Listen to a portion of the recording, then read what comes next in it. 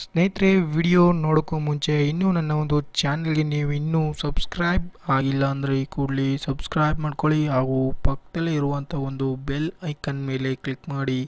ಏಕೆಂದರೆ ನಾ ಮಾಡೋ ಒಂದು ಹೊಸ ವಿಡಿಯೋಗಳ ಬಗ್ಗೆ ನಿಮಗೆ ನೋಟಿಫಿಕೇಷನ್ ಸಿಗುತ್ತೆ. ಅದರ ಮೂಲಕ ನನ್ನ ಒಂದು ವಿಡಿಯೋಗೆ ಡೈರೆಕ್ಟಾಗಿ ಎಂಟ್ರಿ ಪಡೆಯಬಹುದು.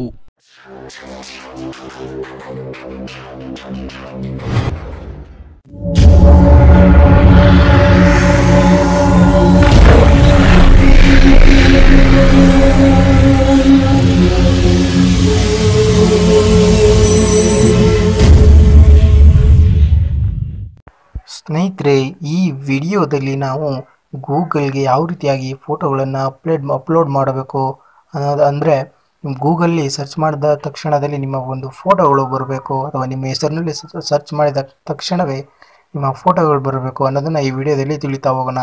ಸ್ನೇಹಿತರೆ, ಇದಕ್ಕೆ ಸಂಬಂಧಿಸಿದಂಥ ಒಂದು ವಿಡಿಯೋನ ನನ್ನ ಒಂದು ಚಾನಲಲ್ಲಿ ಆಗಲೇ ಪಬ್ಲಿಷ್ ಮಾಡಿದ್ದೇನೆ. ಸೊ, ಅದನ್ನು ನೋಡಿ, ನಂತರ ಈ ವಿಡಿಯೋನ ನೋಡಿ. ಸ್ನೇಹಿತರೆ, ಆ ಒಂದು ವಿಡಿಯೋ ಲಿಂಕ್ನು ಕೂಡ ನನ್ನ ಒಂದು ಚಾನಲ್ ಡಿಸ್ಕ್ರಿಪ್ಷನ್ ಕೂಡ ಆ್ಯಡ್ ಮಾಡ್ತೀನಿ. ಸೊ ಅಲ್ಲಿ ಹೋಗಿ ನೋಡಿ. ಸ್ನೇಹಿತರೆ, ಈ ಒಂದು ಚಾನಲ್ನಲ್ಲಿ ನೀವು ಅಂದರೆ, ಈ ಒಂದು ವಿಡಿಯೋದಲ್ಲಿ ವಿಡಿಯೋ ನೋಡ್ತಿರುವಂಥ ಸಂದರ್ಭದಲ್ಲಿ ನಿಮಗೆ ಕೆಲವು ಸಂದೇಹಗಳು ಬಂದಲ್ಲಿ ನನ್ನೊಂದು ಚಾನಲ್ನ ಕಮೆಂಟ್ ಬಾಕ್ಸ್ನಲ್ಲಿ ಕಮೆಂಟ್ ಮಾಡಿ, ನಾನು ನಿಮಗೆ ಕಮೆಂಟ್ ಮಾಡಿ, ತಿರ್ಗಾ ರಿಪ್ಲೈ ಮಾಡಿ ನಿಮಗೆ ತಿಳಿಸ್ತೇನೆ. ಸ್ನೇಹಿತರೆ, ಮೊದಲನೇ ಹೇಳ್ದ, ಮೊದಲನೇ ವಿಡಿಯೋದಲ್ಲಿ ಹೇಳ್ದಾಗೆ ನೀವು ಮೂರು ರೀತಿಯಾದಂಥ ಒಂದು ಅಕೌಂಟ್ಗಳನ್ನು ಕ್ರಿಯೇಟ್ ಮಾಡ್ಕೊಂಡಿರಬೇಕು. ಅದರಲ್ಲಿ ಜಿಮೇಲ್ ಮತ್ತು ಇನ್ನೊಂದು ಯೂಟ್ಯೂಬ್ಲಿ ನಿಮ್ಮ ಒಂದು ಅಕೌಂಟ್ನ ಕ್ರಿಯೇಟ್ ಮಾಡ್ಕೊಂಡಿರ್ಬೇಕು. ಮತ್ತು ಗೂಗಲ್ ಪ್ಲೇಸ್ಲಿ ಕೂಡ ನಿಮ್ಮ ಒಂದು ಅಕೌಂಟನ್ನು ತೆರೆದಿರಬೇಕು. ಸೊ ಅವನ್ನು ಯಾವ ರೀತಿಯಾಗಿ ಯೂಸ್ ಮಾಡೋದು ಅನ್ನೋದನ್ನು ಈ ವಿಡಿಯೋದಲ್ಲಿ ನಿಮಗೆ ತಿಳಿಸ್ತಾ ಹೋಗ್ತೀನಿ. ಬನ್ನಿ, ವಿಡಿಯೋ ಶುರು ಮಾಡೋಣ.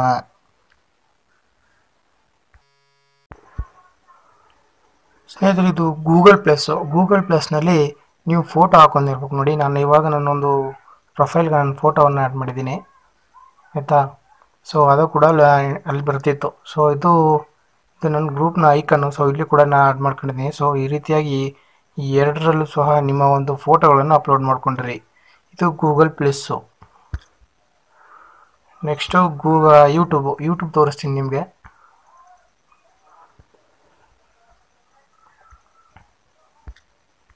ನೋಡಿ, ಈ ರೀತಿಯಾದಂಥ ಒಂದು ಯೂಟ್ಯೂಬ್ ಇರುತ್ತೆ. ಸೊ ನೀವು ಒಂದು ಚಾನಲ್ ಕ್ರಿಯೇಟ್ ಮಾಡ್ಕೊಂಡ್ರಿ ಅಂತ ಹೇಳಿದೆ.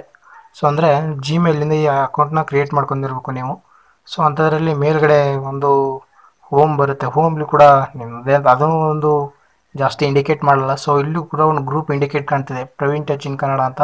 ಸೊ ಅದು ಕೂಡ ಬರ್ತಿದೆ. ನೋಡಿ ನಾನು ನನ್ನೊಂದು ಚಾನಲಲ್ಲಿ ಹಲವಾರು ವೀಡಿಯೋಸ್ನ ಹಾಕಿದ್ದೇನೆ. ಟೋ ಟೋಟಲು ಇಪ್ಪತ್ತಾರು ವೀಡಿಯೋಸ್ನ ನಾನು ನನ್ನ ಒಂದು ಚಾನಲಲ್ಲಿ ಅಪ್ಲೋಡ್ ಮಾಡಿದ್ದೇನೆ.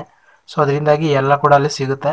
ಸೊ ನೀವು ಯೂಟ್ಯೂಬ್ ಕ್ರಿಯೇಟ್ ಮಾಡ್ಕೋತೀರಲ್ಲ? ಸೊ ಅಲ್ಲಿ ನಿಮ್ಗೆ ಯಾವುದಾದ್ರೂ ಒಂದು ಚೆನ್ನಾಗಿರುವಂಥ ಒಂದು ವೀಡಿಯೋಸು ಅಥವಾ ನೇಚರ್ಗೆ ಸಂಬಂಧಪಟ್ಟಿದ್ದು ಅಥವಾ ಇನ್ಯಾವುದೇ ಒಂದು ವಿಡಿಯೋಗಳನ್ನು ಅಪ್ಲೋಡ್ ಮಾಡಿ.